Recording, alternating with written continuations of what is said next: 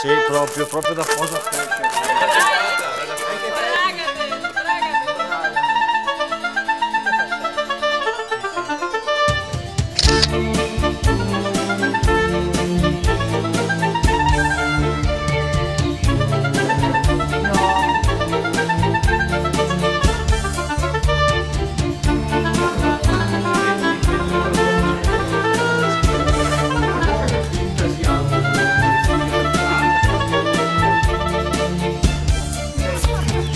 mano davanti, la luce che colpisce il soggetto la registrate qua sul vostro palmo della mano, dopodiché fate la foto.